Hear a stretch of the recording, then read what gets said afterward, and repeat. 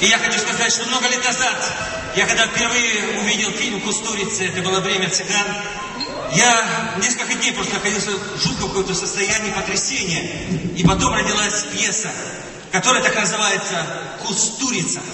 И сегодня произойдет действительно какая-то цыганская ночь, цыганская импровизация, потому что мы не репетировали, а сейчас сыграем просто сходу вместе с оркестром пьесу, которую вы сейчас тоже первый раз услышите. «Кустурица».